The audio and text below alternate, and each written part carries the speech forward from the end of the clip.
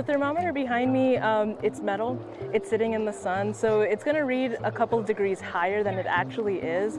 But I like to see the thermometer as a representation of what we're feeling. Just standing here in the sun, uh, it's definitely hot.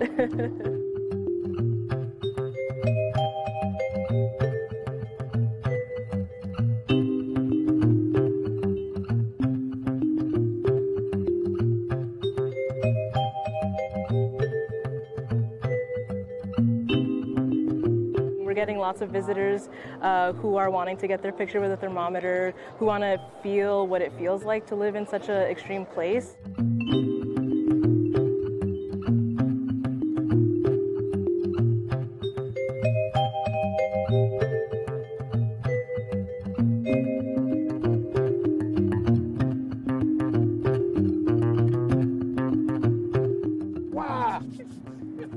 Very hot. Ah! Make me.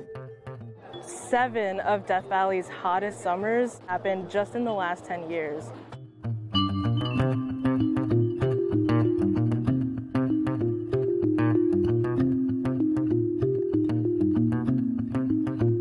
definitely need to start doing something about it because like the earth is where we live we should take care of it we should you know leave no trace